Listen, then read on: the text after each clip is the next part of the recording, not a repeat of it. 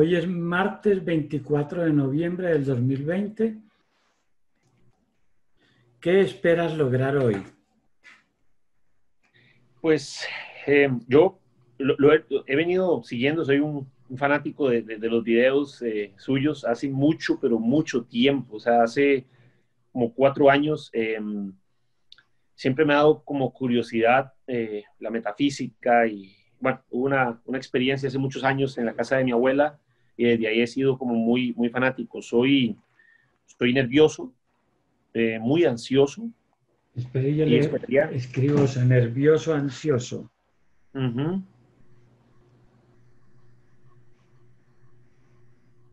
Listo. ¿Y qué te pasó en la casa de la abuela? Pues eh, ahí pasaban muchas cosas. Eh, una casa era de mis tíos, durante un tiempo estuve deshabitada y bueno, yo en, una etapa de mi vida en la que mi abuela me invita mucho para yo tratar de como de comunicar con mi papá, porque nos habíamos distanciado, me empiezo a quedar a dormir ahí pasaban cosas muy extrañas, latinas, se encendía la cadena, se jalaba sola, o sea, nunca vi como una imagen, pero sentía como que las cosas se movían eh, y ya hubo un momento en el que, pues desde que estaba pequeño, porque era la casa de mis tíos, siempre se sentían zonas como unos escalofríos. Me acuerdo quedarme pequeño ahí, me iba corriendo para donde estaban todos y eso me pasó también de grande. Yo decía, ya a los 21 años no podía ser que tenía que dormir ahí cuando me quedaba a dormir con la luz encendida y siempre con miedo. Sentía como unas presencias ahí. ¿Cómo llama la abuela? Eh, Cinia, Cinia Mora. Sentía cosas extrañas.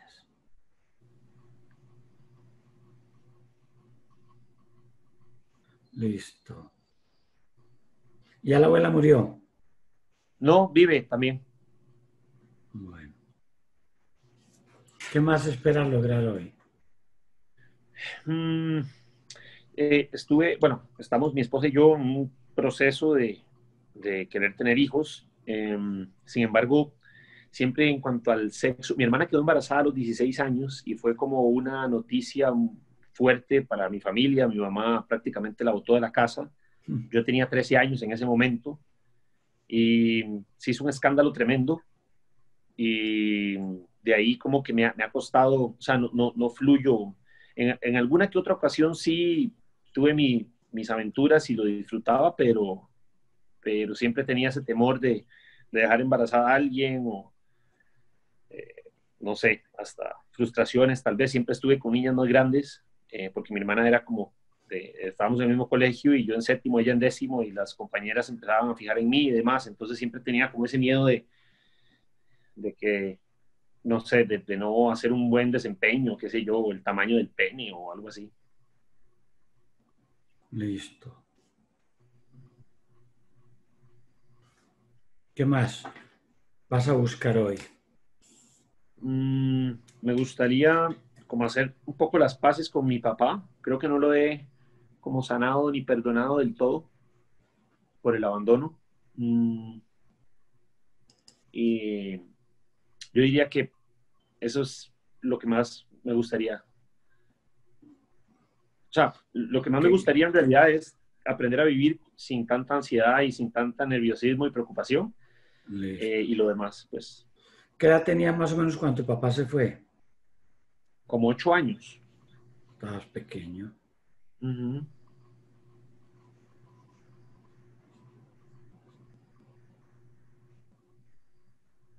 Listo. ¿Tristezas hay? Creo que de alguna u otra forma he encontrado como mecanismo en mi mente como para bloquear o no como para engañarme, para no confrontar cosas, creería. Eh, no, no, no, no encuentro un dolor así como muy profundo de alguna situación en particular. En algunos casos un poco de ira, tal vez, pero tristeza. Ah, no, eso es perjudicial. Vamos a sacar eso. Vea, eso ni siquiera en Irlanda. En Irlanda tenían el ira y pactaron con los ingleses para acabar con el ira en Irlanda. Mm, imagínate. Sí. Ira, vamos a quitar eso.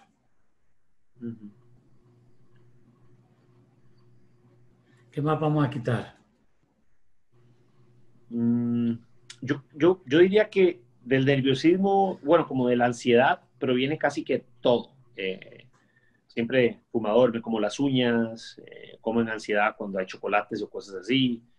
Eh, ah, no, perdón, hay una cosa importantísima, ¿cierto? Y es más, este era el motivo casi que inicial de, de todo, casi se me va. durante muchos años padecí problemas de cuello y espalda. Es, yo con, con, mi esposa, cuando éramos novios, yo diría que al principio estaba todo bien en cuanto al, al, sexo en realidad. sin embargo, de un momento a otro, eso empezó como a, a, doler eh, mucho y me costaba levantarme de la cama. En algunos momentos no podía, me quedaba tieso del cuello, de la espalda cuando trabajaba y ha ido disminuyendo, eh, pero he, hecho absolutamente de todo, he ido a muchos profesionales y la mayoría me dicen que es un problema eh, mental, fisiológico y psicológico y no, eh, ya, ya, he ido, ya he ido como a seis profesionales, siempre buscando una respuesta más física, pero dicen que todo es, entonces quiero encontrar la forma de que todo me... Exactamente, eso es. Estamos buscando el computador. ¿Quién se ha muerto que te haya querido? Em, yo diría, mi abuelo, mi abuelo del lado paterno estaba muy joven, pero sí falleció como cuando yo tenía como seis años tal vez. ¿Cómo se llama el abuelo? Luis Fernando también.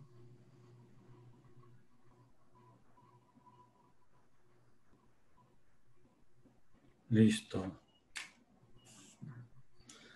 Eh, ¿Alguna abuela? Pues ya vemos que hay una que está viva, Sinia. ¿Y la otra? La, otra que es colombiana de Medellín está viva también. Listo. ¿Cómo hace que tu abuela es de Medellín también? La abuela. Sí, sí. sí siempre ha sido un cariño grande a Colombia y termino casándome con colombiana eh, pero recuerdo desde pequeño, bueno, mi, abuela de Medellín, está mi mamá, que es la mayor de seis hermanos, y después sigue un tío que nació en Colombia, mi mamá casi nace en Colombia también, y todas las vacaciones iban para Medellín. Mm. Desde, niños.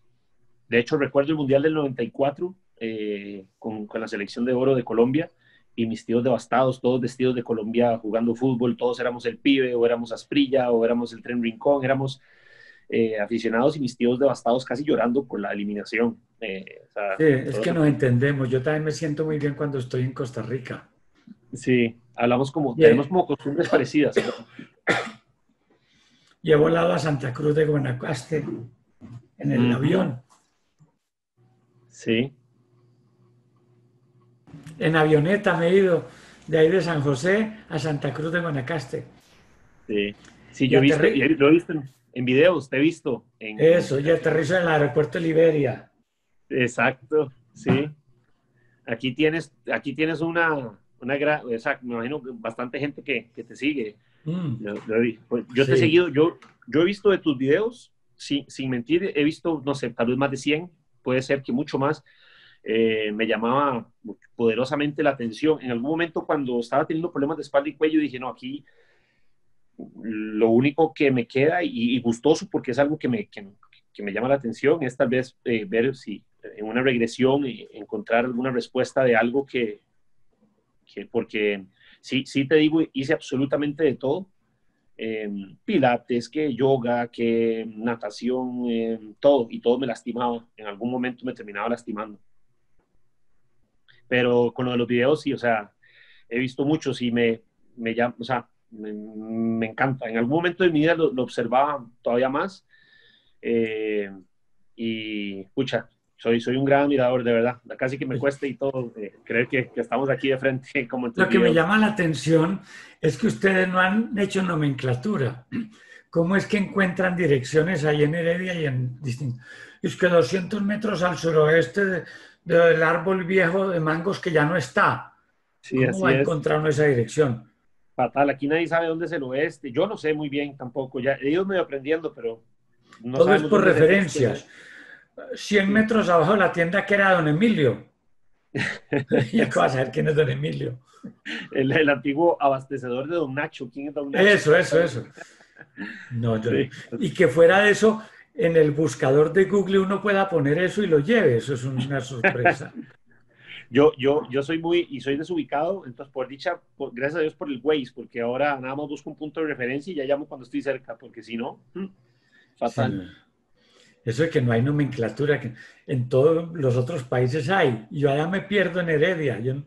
y, y si es de noche, no tengo a quién preguntar, vea. Sí.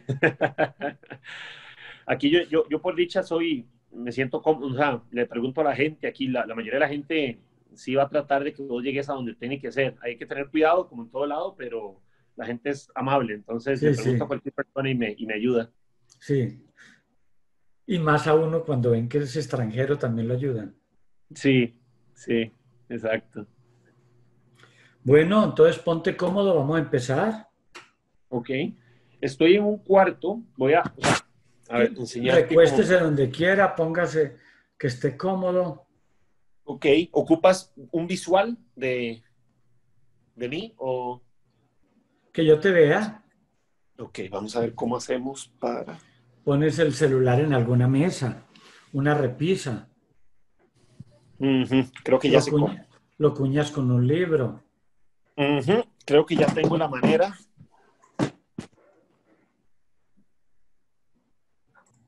Entonces, cierra los ojos, que ya como has visto tantos videos, sabes que vamos a hacer un ejercicio preparatorio, probatorio, de exploración psicoemocional ondulante. Es un ejercicio muy sencillo de imaginación, pensamientos, recuerdos y emociones. Mientras yo cuento desde uno hasta cinco, piensa en ese momento de tu vida que llega a tu mente. Ese momento que te marcó. Cualquiera. Cuando eras niño o grande. Con Tatiana o la abuela. Y al llegar a cinco, quiero que me digas eso que piensas, sientes o imaginas, real o imaginario. Uno.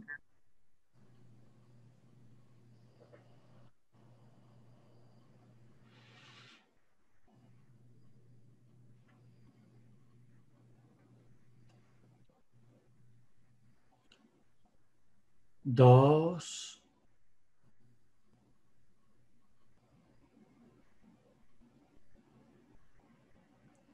Si era de día o de noche.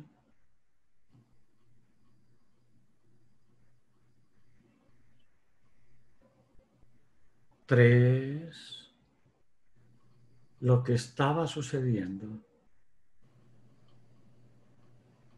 Vivencialo, siéntelo.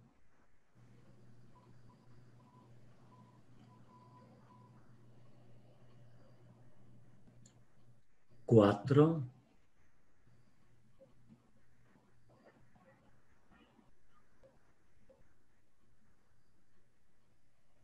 si era de día o de noche. Cinco.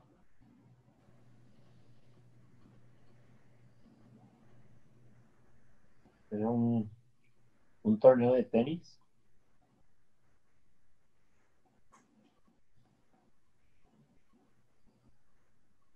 Era la final del centroamericano.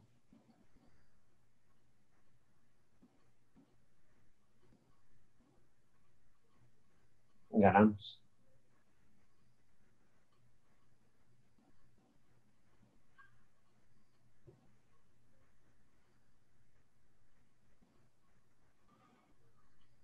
Mi mamá está muy feliz.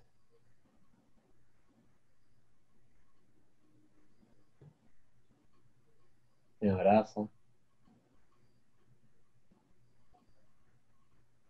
Todos sonreímos y nos abrazamos.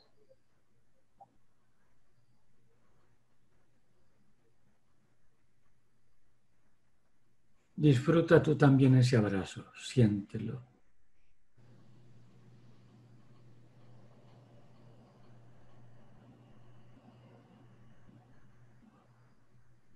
Y ahora mientras sientes y disfrutas ese abrazo, ve profundo a otro momento al que te lleva tu mente.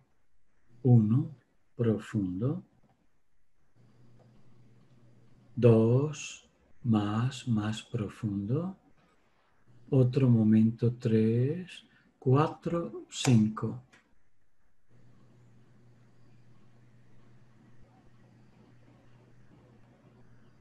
Mi mamá llora.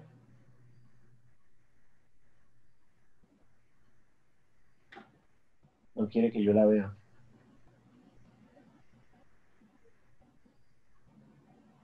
Me pregunta que qué le pasa. No me dice nada. Pero un momento yo le pregunto. Permite que se comunique a través de tu mente. Quiero hablar con ella. Voy a contar de uno a tres y cambias. Uno, dos, tres, cambia. María Patricia, ¿me puede decir a mí por qué está llorando?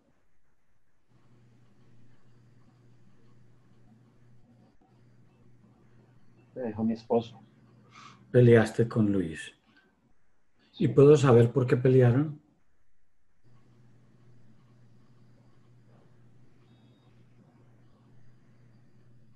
Son muy diferentes. Pero diferentes era cuando se enamoraron.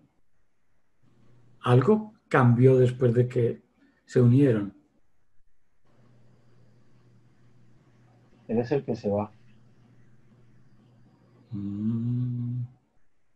Déjame hablar un momento con él. Permítele, María Patricia, que se exprese a través de tu mente. Luis, ¿puedo saber por qué te vas? No quiero hacerles daño. No les quieres hacer daño. ¿Qué es lo que tú no quieres que ellos sepan?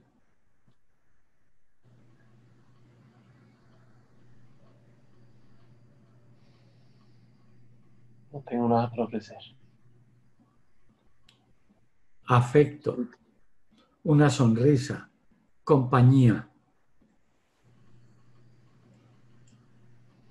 Estoy vacío. Te sientes vacío. Te voy a hacer una pregunta muy directa, Luis. ¿Has pensado en atentar contra tu vida? Sí. Ahí mismo lo sentí. Pues espero que no lo hagas. Pero si lo haces es tu decisión. Pero mira una cosa, Luis. Es posible que tú no le encuentres sentido a tu vida.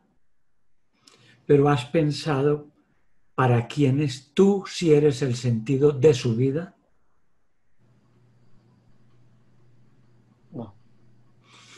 Pues puede ser el sentido de vida para tu hijo puede ser el sentido de vida para María Patricia. No sé si tienes hermanos, no sé si tienes padres, pero te repito la frase, es posible que no entiendas el sentido que tiene tu vida para ti, pero es posible que tu vida sí tenga sentido para otros. Entonces, ojalá no tomes esa decisión de terminar con ella. ¿Qué quisieras que tu hijo Daniel te perdone hoy.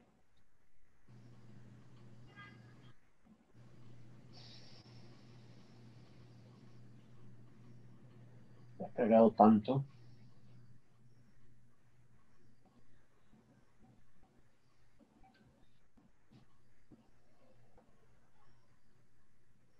Prefiero irme antes de hacerles más daño.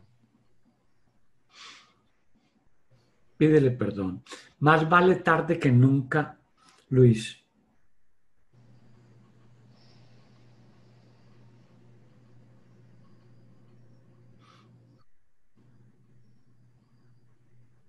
Y te hago otra pregunta. ¿Al final atentaste contra tu vida? No. No. Bueno, afortunadamente no. ¿Qué le pasó a tu cuerpo? Lo destruí. Ah, entonces sí, lo destruiste. Pero de a poco. Ah, suicidio lento, en cámara lenta. ¿Te consumió el vicio? Sí. ¿Qué tipo de vicio, Luis? Muchos. ¿Le pides perdón también por eso a tu hijo? Sí. pídele perdón.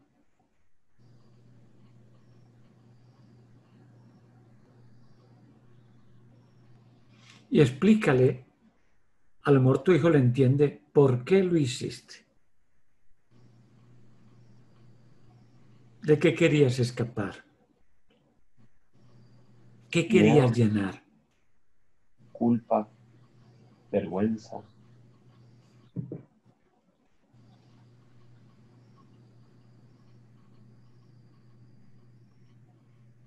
Ahora que ya trascendiste, que te encuentras en la otra dimensión, ¿te perdonaste por todo eso? Estoy en eso. Eso, perdónate. Y pídele perdón también a Daniel. ¿A través de Daniel le quieres enviar algún mensaje a María Patricia? Lo siento mucho que los amo.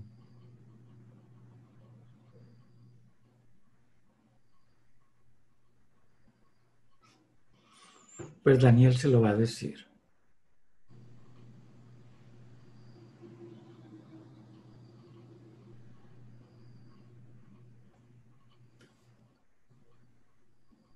¿A quién más le quieren mandar algún mensaje, además de María Patricia?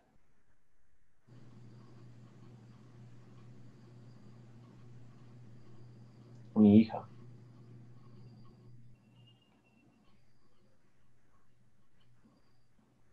Siento que ella, que ella fue con la que más conecté.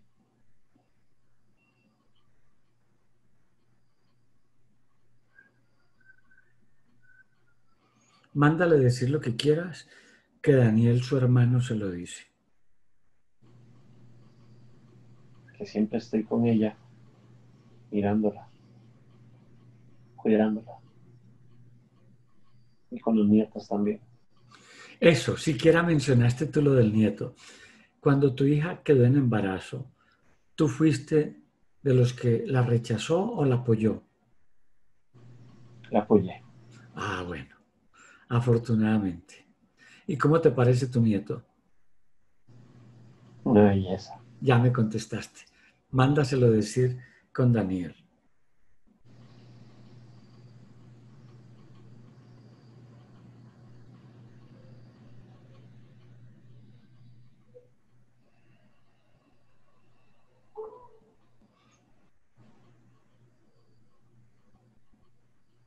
Luis, tú conoces a tu hijo más que yo.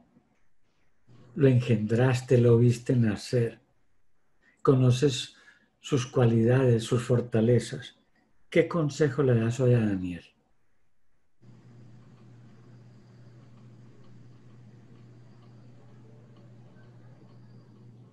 Que confíe en él. Confía en ti. Que trate de agradarse más a él mismo y no agradarle a los demás. Agrádate más a ti mismo antes que intentar agradar a los demás. Mira, Luis, es que eso lo enseñan hasta en los aviones. Cada que un avión va a decolar, estando todavía en la pista, una azafata o auxiliar de vuelo se va al frente del pasillo y dice exactamente lo que tú acabas de decir. Dice, en términos aeronáuticos, en caso de despresurización de la cabina, caerán automáticamente las máscaras de oxígeno. Colóquese usted primero la máscara antes de pretender ayudar al que tiene al lado. Es que él, no sabe cómo hacerlo. Y tú tampoco. Pero lo que sí podemos hacer, Luis, es encontrar quién. ¿El abuelo Luis Fernando está por ahí? Búscalo. Pásalo para que Daniel lo salude. Daniel, saluda al abuelo Luis Fernando. Gatito.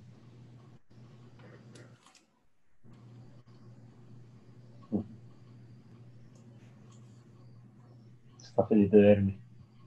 Tito, te necesitamos. Tu nieto Daniel necesita consejos. Necesita que él se autovalore, que él suba su autoestima, su confianza, su seguridad. ¿Nos ayudas con eso, Tito? Sí. Listo. Hazle mientras yo tomo un sorbito de café colombiano.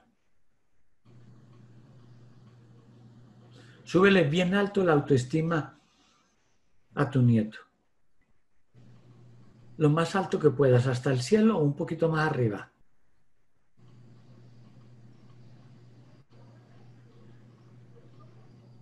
Muéstrale a tu nieto todas las cualidades que él tiene. La inteligencia, los buenos sentimientos, la honradez.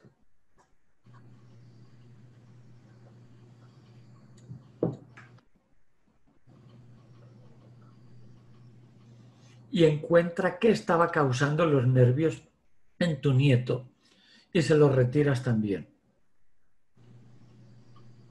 y le retira la ansiedad. Encuentra cuáles eran las causas, los motivos.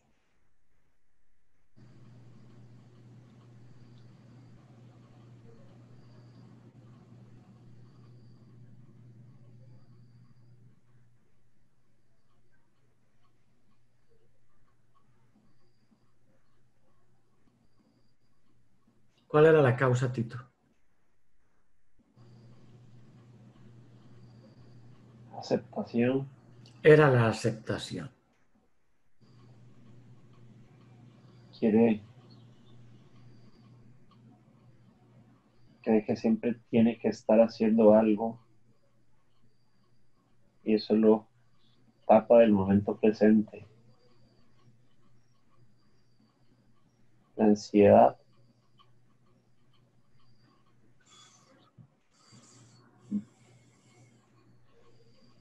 viene del miedo de la de lo que pueda pasar. Pero no se sabe nunca qué va a pasar. Estoy de acuerdo contigo, abuelo. Cada día es una sorpresa. Cada día es un regalo. Mm, cuando yo era niño, me gustaba que mi abuelito me llevara un huevo de chocolate suizos que llaman huevos Kinda. Suizos o alemanes, yo que me voy a acordar si yo era un niño. El huevo Kinda. Y yo corría a romperle ese papel de aluminio que eso trae bonito de colores. Y me comía rápido la capita de chocolate que formé el huevo para sacar el regalito que tenía dentro el huevo Kinda. Sí, yo sé que muchas veces me tocaba el mismo animalito o el mismo carrito, pero era la sorpresa que me daba mi abuelo lo que a mí me gustaba, del huevo Kinda. Así es cada día, nos trae un huevo Kinda de regalo. Así a veces son los noviazgos y los matrimonios en algunos países árabes, en que las mujeres no se ven porque están todas cubiertas de negro. Y el novio, lógico, no la ve. Pero ya cuando llega la relación matrimonial, todo, ya el novio es como si estuviera abriendo un huevo Kinda. Ahí es cuando descubre cómo es su novia. Pero es la sorpresa. Entonces, abuelo, haz que tu nieto tome cada día como huevo Kinda. Que disfrute la sorpresa. Que abra cada día con el amanecer y lo disfrute.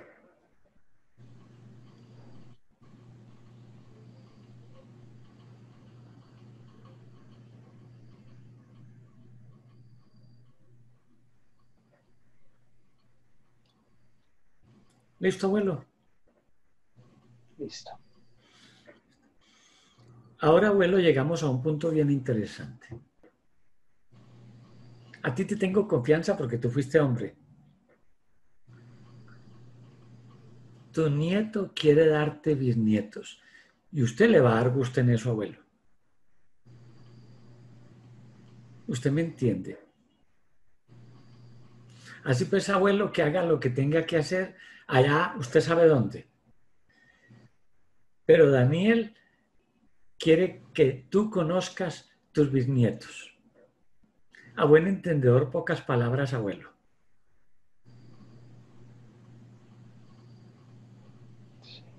Listo, entonces haga lo que tenga que hacer, abuelo. Retire lo que tenga que retirar. Una lo que tenga que unir. Potencie lo que tenga que potenciar. Aplíquele diagramón virtual donde le tenga que aplicar diagramón, pero que tu nieto quede hoy bien espectacular.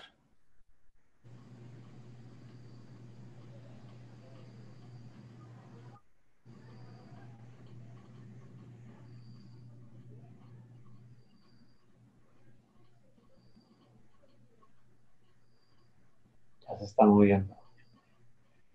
Listo, abuelo. mientras tú organizas a tu nieto, yo tomo café. Déjalo como mejor que nuevo.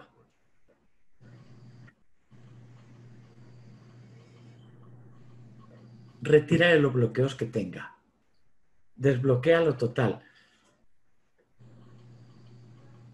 ¿Que tiene presas? Quítale las presas.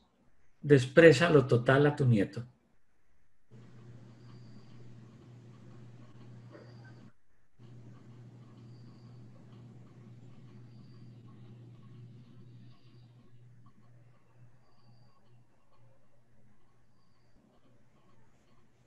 Ese es el punto más importante, abuelo. Con que le des ese regalo hoy a Daniel, quedamos listos.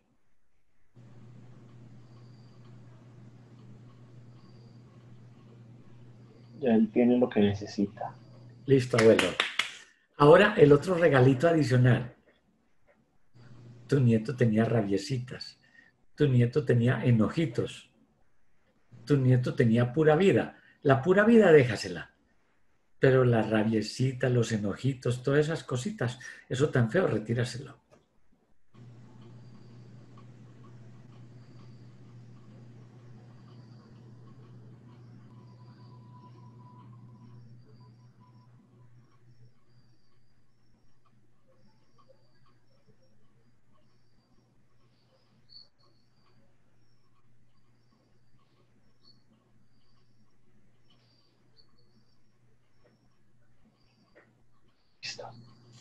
Nos faltan dos puntos, abuelo, y tu nieto queda espectacular.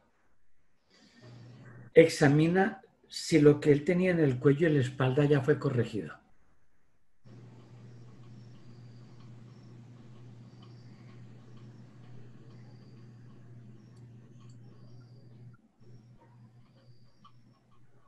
Eso se va a ir corrigiendo con el tiempo. Listo. Entonces vamos al punto siguiente. Necesitamos saber si en la casa de la abuela Simia hay todavía algún ser sin poder trascender, alguna energía espiritual, para que la ayudemos. Uf, sí. Bueno, abuelo, manos a la obra, no perdamos más tiempo. Daniel, ayuda al abuelo a ayudar a trascender esas almas que están todavía retenidas en la casa de la abuela. Ayúdalos a todos a llegar a la luz ayuda a que los espíritus que están sufrientes se perdonen y perdonen para que puedan trascender. Los que tienen apegos materiales que se desapeguen, que entiendan que ya no hay cuerpo. Muy poderoso esto. Recuerda, Daniel, que tú también eres espíritu. Que este cuerpo que tienes ahora es un estuche temporal, transitorio, es una máscara pero tan espíritu eres tú como espíritu son los que están en la casa de la abuela.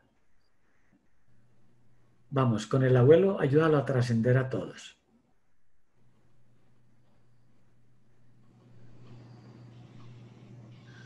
Convéncelos de que se perdonen y perdonen, de que suelten los apegos que tengan, que fluyan. Vea, muy fácil, usted trabaja con lubricantes. Usted sabe que el lubricante es algo que permite que la cosa ruede, se, se deslice o se deslace, depende como yo lo pronuncie. Pues aplíqueles aceite espiritual a todas esas energías, a todos esos hermanitos espirituales. Envuélvalos en teflón espiritual para que fluyan y trasciendan todos hacia la luz.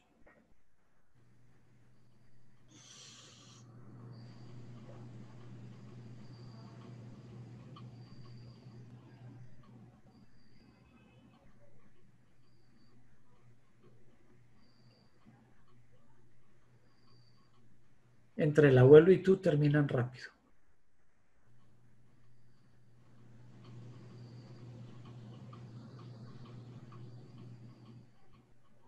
Y recorre toda la casa, recorre los cuartos, la cocina, los pasillos, los baños.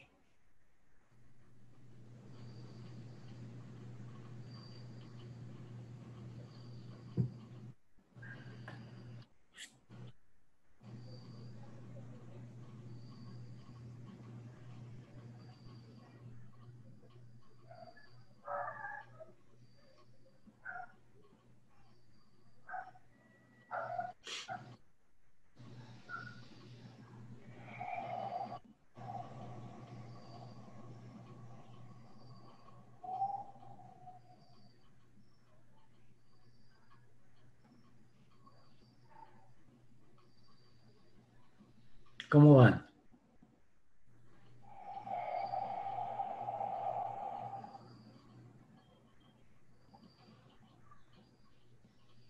Hay unos que sí, hay otros que... Maravilloso. Con que sea uno solo que ustedes logren ayudar a trascender hoy, ya hicieron la labor humanitaria.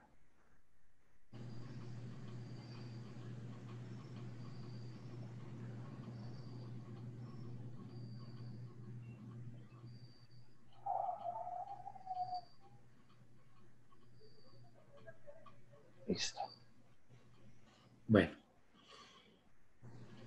Entonces ahora sí regresa a tu cuerpo.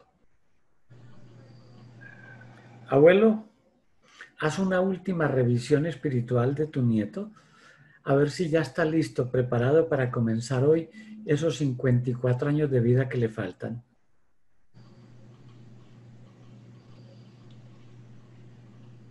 Recuerda que él tiene tarea, él tiene que ir a organizar lo de tus bisnietos.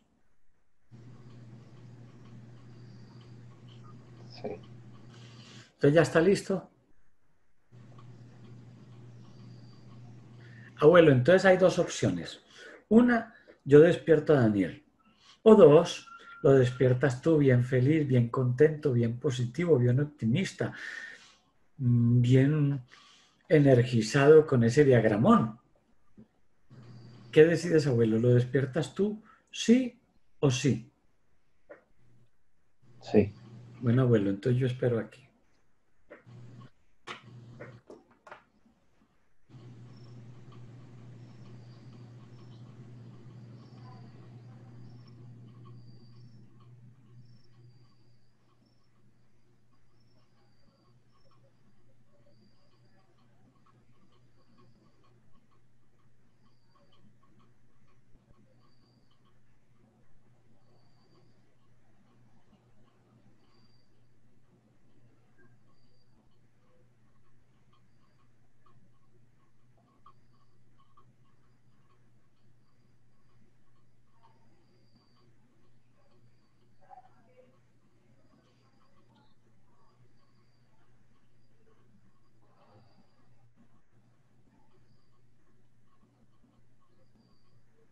Listo. Hola Daniel, bienvenido. Wow. los brazos.